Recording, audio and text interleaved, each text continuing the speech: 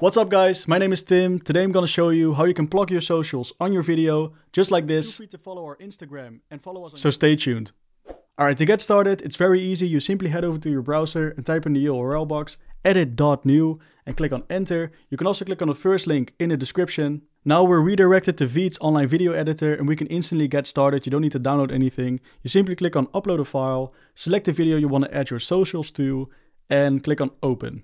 Now this can take a moment depending on the Wi-Fi speed and the size of the video. Alright, now we got our video imported and we can watch the video back. Thanks for watching this video. I hope you enjoyed it.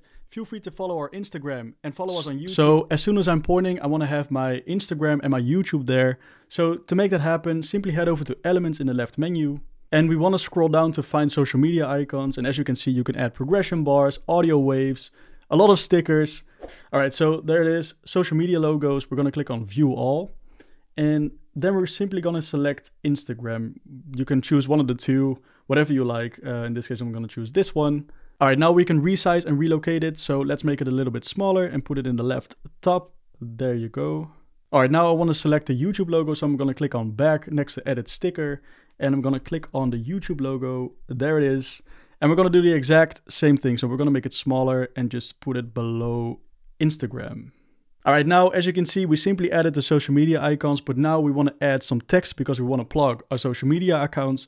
So to make that happen, it's very easy. Head over to text in the left menu. Now simply select a preset text style. I'm going to click on headline title and we can change the text in the text box. We can uh, change the color, the background color. We can change the font. First, I'm going to make it white because it's very hard to see it black on black. So let's do that. We're going to click on it and drag it next to the Instagram logo. We're going to make it a little bit smaller. There you go. Now to change the text, simply head over to the text box on the left and we're going to type in Veed Studio because that's the name of the Instagram account. All right, now we want to do the same for the YouTube channel. So what you can do is click on add another text box to make another text, or you simply copy and paste this one by right clicking on the text, clicking on copy, right click it again and clicking on paste. Now we're to drag it down a little bit and we're to put it next to the YouTube logo. I'm to change the text a little bit. I'm to make it a forward slash instead of an ad. And for a matter of fact, I'm actually to make the text a little bit smaller because my head is blocking it a little bit. So I'm to click on it and resize it. All right, now we added our socials and now as a finishing touch, I just want to make the timing correct because I'm pointing to the left top corner. So I want to make the text appear as soon as I point. To make that happen, simply head over to the bottom timeline. And as you can see, you can see the text layers and you can see the elements layers. And if I make the menu a little bit bigger, you can also see the video file. Now we're going to use the playhead to time it correctly. So we're going to go to the point where I'm pointing up. So let's have a look.